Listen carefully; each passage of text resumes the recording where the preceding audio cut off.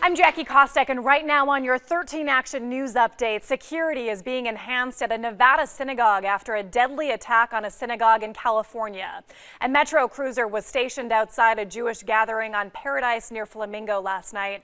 The Anti Defamation League and Nevada's Jewish Federation immediately put out a security alert informing rabbis and other Jewish leaders about the San Diego shooting.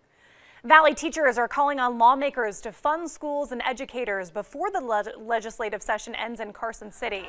Teachers, parents, and even students rallied in downtown Las Vegas Saturday. More than a thousand community members showed up with signs chanting, Fund Our Schools Now.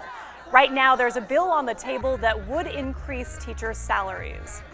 Six Democratic presidential candidates visited Las Vegas Saturday for the Service Workers Union Forum. Senator Kamala Harris, Amy Klobuchar, Beto O'Rourke, Julian Castro, John Hickenlooper, and Senator Elizabeth Warren all attended the event. They promoted their solidarity, solidarity with workers, focusing on wages and labor.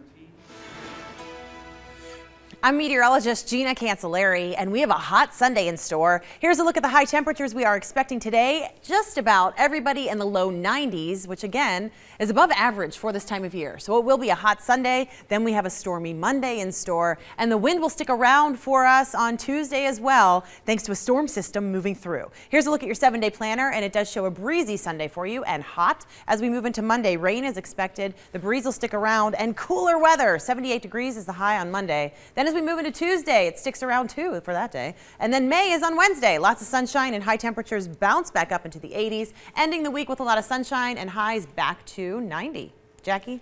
Gina, thank you. You can always get the latest news at ktnv.com, our KTNV mobile app, our Roku channel, and the latest version of Apple TV.